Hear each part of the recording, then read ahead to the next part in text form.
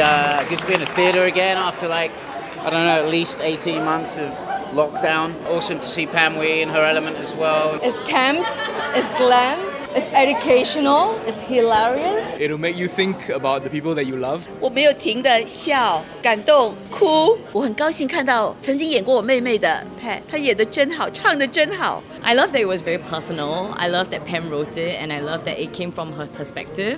I love the show. Um, basically, I didn't expect to actually go through the entire uh, gay history through this show. I love the fact that she brought us down memory lane. Uh, Every story she told, I could identify. The happy days, the pink dots, really brought back memories.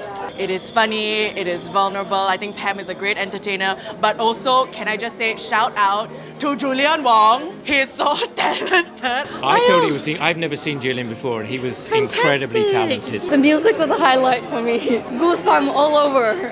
每一首歌跟故事的情节、跟时代的发展都有关系，我们都在当中。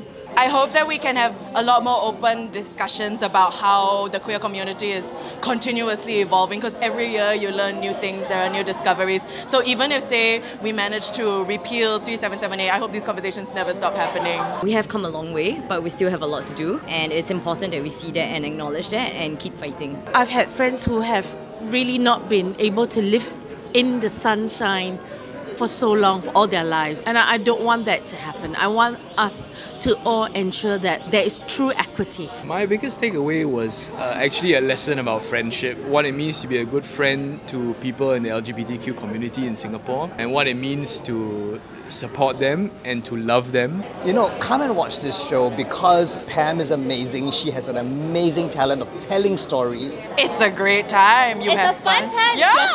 friends. So come and watch.